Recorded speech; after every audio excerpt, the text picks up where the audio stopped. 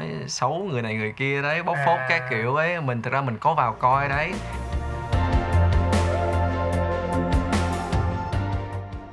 Vì sao lại có cái tên như vậy? Có liên quan gì đến việc đáp trả vì mẹ anh bắt chia tay của Miu Lê hôm bữa trước mà Karik hát cùng với Miu Lê hay không? Rồi đó là một câu mà các bạn quan tâm gửi về em thấy là quan tâm hàng đầu luôn. Ờ, thực ra thì cái cái cái cái chuyện vì mẹ anh bắt chia tay để link qua cái cái chỉ là một cái cớ để Rick link qua thôi. Ờ, tại vì trong lúc mình sáng tác thì mình có nghĩ là hay là mình reply một cái gì đó cho cái bài này nhờ. Thì ờ, đó chỉ là một phần còn một cái phần thứ hai nữa là do mình quan tâm tới những cái vấn đề gần đây trong vài năm gần đây khi mà mạng xã hội nó phát triển lên. Và bắt đầu nó có những cái group và những cái group ờ, nói nói chung là nói xấu người này người kia đấy bóc phốt À. các kiểu ấy. Mình thực ra mình có vào coi đấy. Mình có vào coi thì mình thấy là rồi anh này chị này kia rồi bắt đầu nói xấu nhau. Sau Ừm. lúc mà quen nhau tốt đẹp thì ờ, mọi người share những cái khoảnh khắc thì mình không nói. Thì đó, đó là Ừm. chuyện đó là chuyện tình yêu đẹp. Nhưng mà khi mà bắt đầu mà nói xấu nhau mình thấy là rốt cuộc nó không hay. Tại vì mình cũng đã từng bị như vậy. Mình cũng từng trong hoàn cảnh như vậy. Thú thật các bạn là ai tất cả chúng ta cũng đều bị cả sẽ một lúc nào đó không trước cũng cũng sau. Thì mình nghĩ thì ờ, mình có một cái thông điệp gì đó nó mang vừa tình yêu, vừa xã hội, mà vừa liên qua được cái vì mẹ bác chia tay thì nó khá là thú vị. Thì bắt đầu là mình nghĩ là ok, thì mình làm thử xem sao. Ừ. nhưng mà nhưng mà nhưng mà em thấy á, là cái việc mà mình à, vào trong những cái group mình theo dõi những cái câu chuyện như vậy á Yep. thì nó nó nó là một cái chất liệu thôi. Nhưng mà cái điều gì thôi thúc để cho Karik viết được cái bài hát này? Em nghĩ là nó có một cái câu chuyện khác nữa.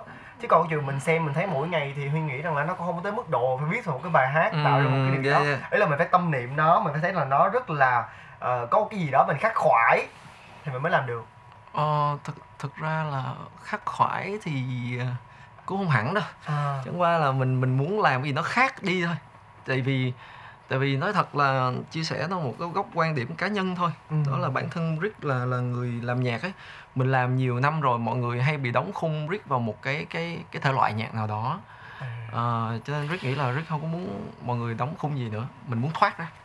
Thì Rick hay làm mọi người để ý là Rick khi trên sân khấu Rick sẽ hát toàn những bài sung thôi. Ừm, không bao giờ hát. Ít không phải không bao giờ. Rất khi nào hát những bài buồn còn những bài buồn Rick chỉ là online thôi. Nhưng mà những bài buồn online mọi người lại thích nghe. Và mọi người À. đóng khung là Rick suy hay viết tình suy thế là mình thế là mình ơ nhưng mà thật ra mọi người mọi người không có để ý những cái sản phẩm khác. Ừm. cho nên là mình nghĩ là thôi bây giờ mình làm một cái sản phẩm gì nó chính quy hơn. Đó nó là của mình để cho mọi người ờ, trong cái thời điểm này để cho mọi người nó nó định hình lại là mình không thích một màu.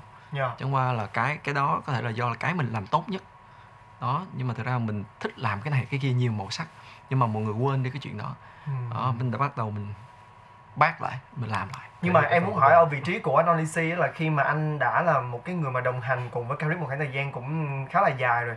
Mình chơi cùng với nhau mình làm nhạc cùng với nhau thì cái việc mà cái sản phẩm lần này á thì mọi người cũng thấy rằng là một cái màu sắc cũng khác lạ từ phía của Karik thì anh thấy như thế nào? Đặc biệt là em thấy là mọi người cũng rất là khen anh Karik trong việc là có những cái câu rất là trend nó cũng rất là dễ kiểu như catch up được với tất cả các bạn khán giả đặc biệt là những cái bạn mà Gen Z bây giờ. Các bạn cũng dễ dàng sẽ nhớ được cái cái cái cái cái điệu flow của rap của mình cũng như là cái tên nghe cái tên là có chơi có chịu là nghe là đã thấy là bắt tai rồi. Cho nên là nhiều người cũng rất là thích. Thì với anh Olisi anh thấy như thế nào về cái lần quay trở lại lần này của anh Karik Ừ. với cái sản phẩm của anh ấy? Ka- Odyssey là người đồng hành với Karik Ừ. trong rất nhiều dự án mà nhất là hai anh em chơi với nhau đã 9 năm rồi Dạ. Đó.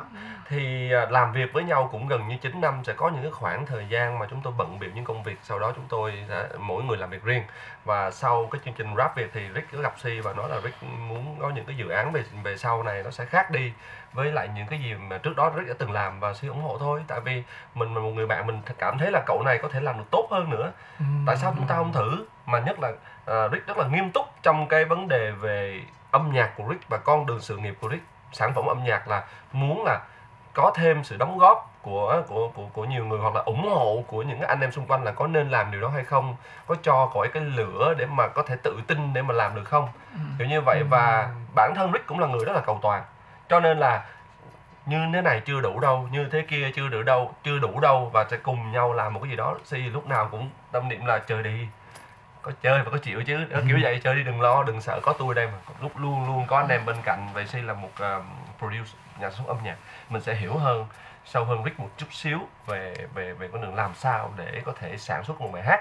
Nhưng mà idea thì thực sự là trong cái cái cái cái dự án lần này là Carrick chính là người đưa ra cái chủ đề là mình phải làm sao đó để mình viết được những ca khúc mà nó mang tính uh, châu Á một chút xíu, Á Đông một chút xíu liên quan tới nó cũng muốn có cái màu sắc và Carrick muốn đi theo cái cái cái màu sắc như vậy để có À. tạo nên sự khác biệt Dạ.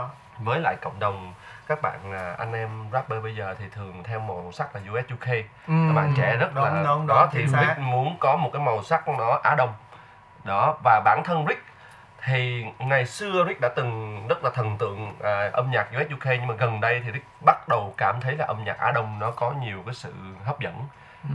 kiểu như vậy mà muốn thay đổi mình thì thì phải mất thời gian để tìm hiểu Á Đông nó có cái gì và giai điệu thế nào mới là Á Đông rap thế nào chứ biết của cung làm sao để ra. Thì chủ đề mà chủ đề lần này thì là một chủ đề xã hội. Ờ, nó có chút xíu liên quan tình yêu. Dạ. nhưng mà nó nó là câu chuyện mà gần đây khá là bắt trend trên các mạng xã hội đó là bóc phốt nhau. Bóc phốt nhau rất À. nhiều trong chuyện tình cảm. Tuy nhiên thì sản phẩm lần này nên chúng tôi không công kích ai cả. Ừ. đây chỉ là một cái chủ đề thôi chủ đề để nói lên cái câu chuyện nhức nhối của xã hội bây giờ và đấng mày râu. Vậy mà, mà mà chúng tôi là anh em chúng tôi mà đưa đấng mày râu là anh lắng nghe đi để có Ừ. những cái cái cái cái những có những cái cảm xúc như vậy để để nói lên cái câu chuyện đó mượn lời thôi. Dạ. nhưng mà nó gần như là anh sẽ đồng hành với trong tất cả những cái dự án nào mà Carrick cần. Thật sự là như vậy